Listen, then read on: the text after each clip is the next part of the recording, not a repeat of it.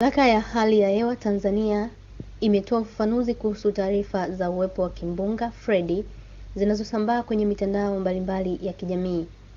Taarifa iliyotolewa leo Jumatatu Februari 20, 2023 na TMA imeelezea kuwa kupitia sheria ya mamlaka hali ya hewa Tanzania namba mbili ya mwaka 2019, mamlaka imepewa jukumu kisheria kufuatilia na kutoa tahadhari za hali mbaya ya hewa kwa ajili ya jamii.